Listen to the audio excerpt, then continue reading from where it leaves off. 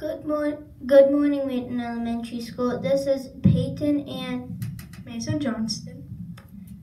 from Miss Fair's class with the WES News Team. Today is Wednesday, January 8th, 2020. Hot lunch today is turkey club sandwich, potato puffs, applesauce, and milk.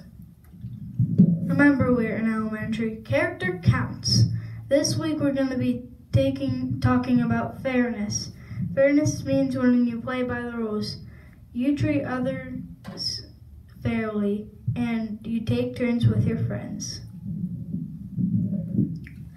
On January 8th, National Joy Germ Day annually reminds people across the country that by being positive and treating people with kindness, they can influence those around them and pass the positive attitude to others like the bad germs that make us sick.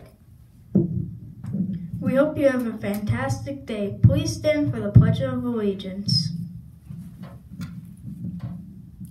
I pledge allegiance to the flag of the United States of America and to the republic for which it stands, one nation, under God, indivisible, with liberty and justice for all.